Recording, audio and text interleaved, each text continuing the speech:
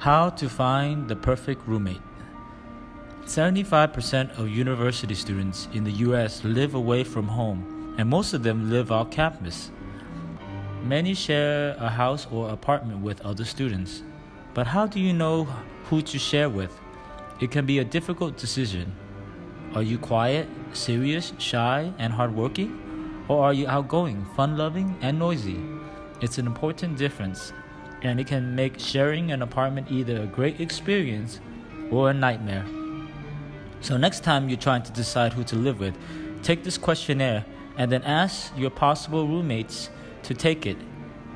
If you give the same answers to four or more questions, then you'll be fine. If more than three of your answers are different, then you need to find a new roommate.